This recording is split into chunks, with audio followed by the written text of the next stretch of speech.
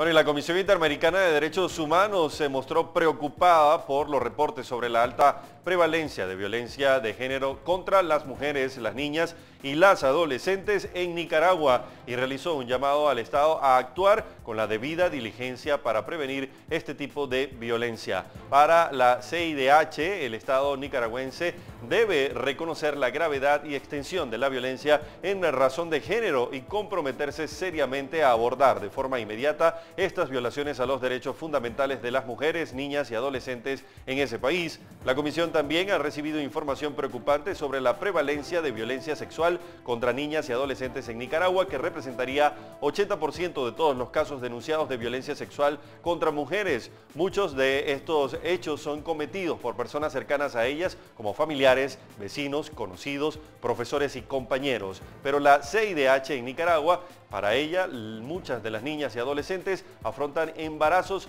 no deseados como consecuencia de actos de violencia sexual y estos embarazos son la consecuencia directa e inaceptable de un crimen e impactan de forma severa en la vida, la integridad y el desarrollo personal de las víctimas. Por tanto, el Estado debe reconocerlo de esta manera.